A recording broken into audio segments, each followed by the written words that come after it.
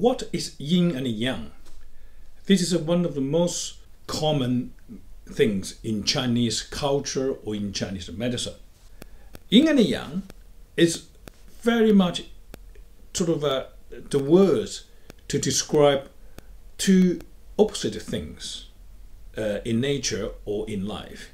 Uh, they can also interact and can be interchangeable. Say, for example, if you say day and the night, so we call it day because it's bright, so and it's warmer, so we call it yang. Opposite night is darker and it's cold, so we call it yin.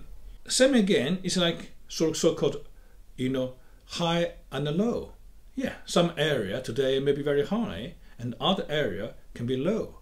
But the high area can never be always high, because if you're too high, the wind will blow and gradually, gradually bring this, whatever the mountain or the, the, the, the hill, slowly, slowly, they will become sort of flattened.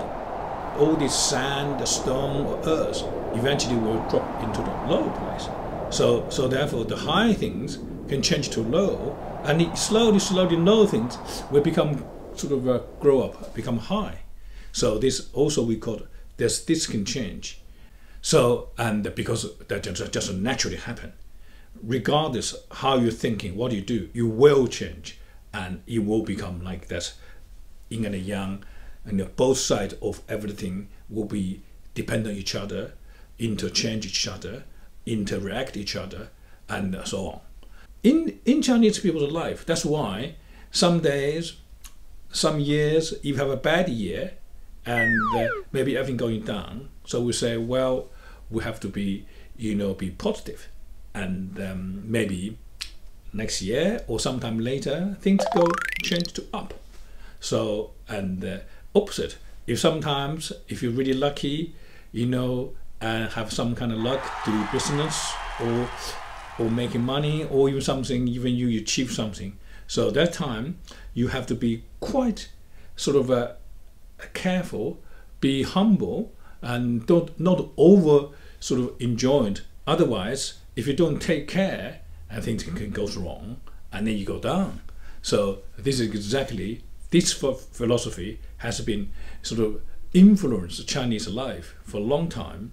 And in terms of Chinese medicine, this is exactly how we treat the people. Because we always believe there's no such illness will, will, will be with you forever, or no good health with you forever if you don't take care. So if you has to, you have to follow this yin and yang change. You have to make sure your body always be prepared and always looking forward to see something, you know, to prevent some illness to happen, and that is make you healthier and happier.